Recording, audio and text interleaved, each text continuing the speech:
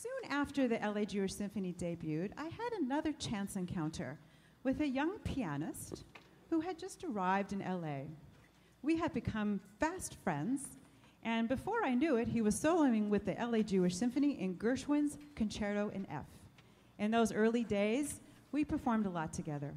Now, fast forward 20 years, and he's world renowned for his one man stage shows depicting the composers Gershwin, say them with me, Beethoven, Chopin, Leonard Bernstein, Franz Liszt, and soon to be Irving Berlin.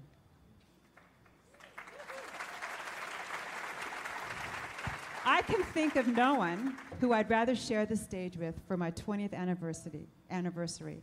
And I am so incredibly grateful for his generosity. Please help me welcome back to the stage Mr. Hershey Felder. In the very early days in New York, I was dreaming of going into the Yiddish theater. Why? Because my father, when I was young and studying the piano, he said that's an absolutely appropriate thing for a young boy who wants to be a rabbi do. Um, however, you cannot go into the theater. There are drugs there. There are terrible people there. The only theater I will allow you to go to is the Yiddish theater. Great. All right. So I am allowed to go to the Yiddish theater. I make some training there, which is, by the way, how all the shtick came about and how I learned my craft by being a child in the Yiddish theater. And you need to know how serious Yiddish theater rehearsals are. They start, no matter what rehearsal you're doing, what play you're doing, how serious the character, they always start with a meal. If you are if you are doing tevye and whatever and fiddler on the Oifendach, or if you're doing any one of those things, it's a borscht, and this is 10 o'clock in the morning on Sunday. No matter what it is you're doing, herring with Schwarzbrot, you can't imagine the way we ate. And then, God forbid, 15 minutes in, someone is starving, so out come the cookies, you know.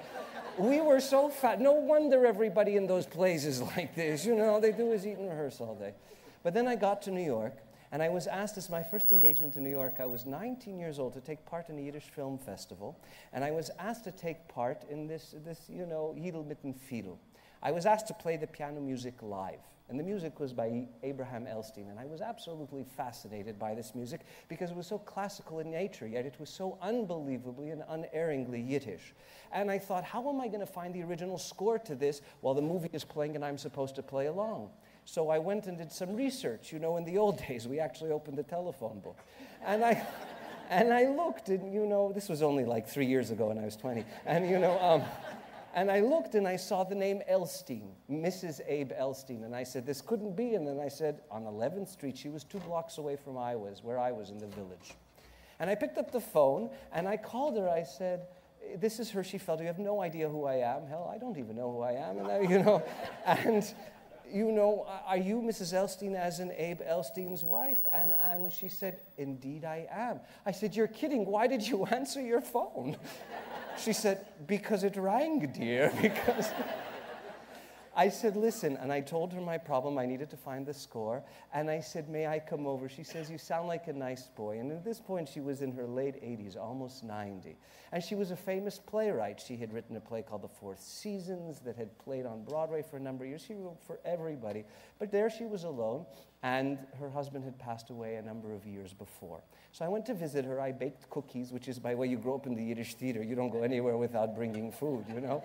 I went, we sat together. And the most bizarre thing happened, and this is our first meeting.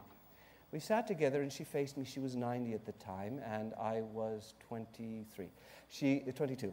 I, she was looking at me, and she, out of the blue, she says, When's your birthday? And I said, Well, it's July 9th, but so, you know, I mean, I hope you're not one of those with the cancer and this. She says, Really, that's remarkable. And I said, I suppose I was born. And she went to the back room in her apartment. She comes back with a passport. And she says, I want you to look at this. This is the composer Abraham Ellstein's passport. And Abraham had contributed so much great music to the Yiddish theater. And I looked at it, and it said July 9th. She said, I don't know how I knew this, and I don't know why I'm supposed to know this, but we are supposed to be friends. And she entrusted me with her husband's music, the entire collection. And I only found this out after she passed. I got a call from her attorney. She says, You are the heir to the entire of Abraham Ellstein's music, which I have in my possession. And she said, she had said in the thing, in the, in the document, she said, I trust one day you will know what to do with it. And this is one of his most famous songs.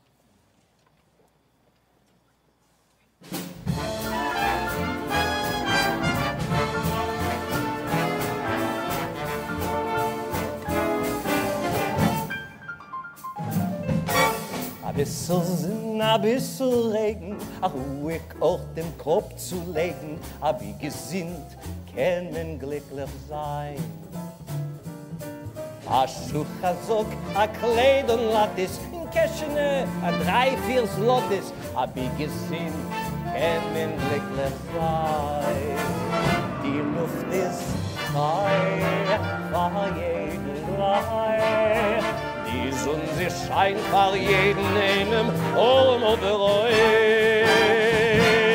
A bissel Fred, a bissel Lachen, a Mund mit Freien, a Schnäpsel machen, a wie gesinnt, können glücklich sein. Eine so Faschieres, eine so Gewehres, einem in der ganze Welt. Eine meint das ganze Glück, hängen ob in Geld. Sollen alle suchen, sollen alle kriechen, nur ich trag bei mir. Ich darf das so auf Kapuris, weil das Glück steht bei mein Tier. A bisschen tun.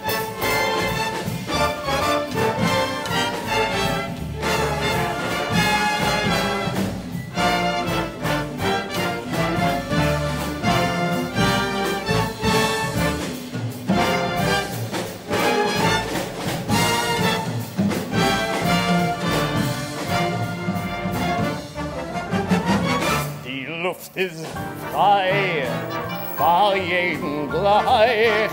The sun shines for all of us, rich or poor, evenly. A bissel Freude, a bissel Lachen, amol mit Freund a Schnäpsel machen. Und hab gesehen, kann man glücklich sein.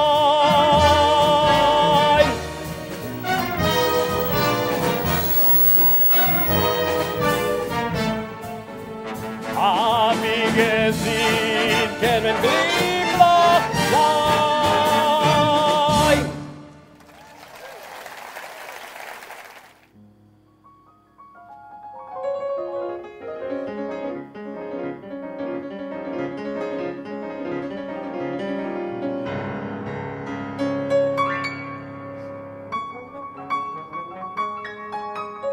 glücklich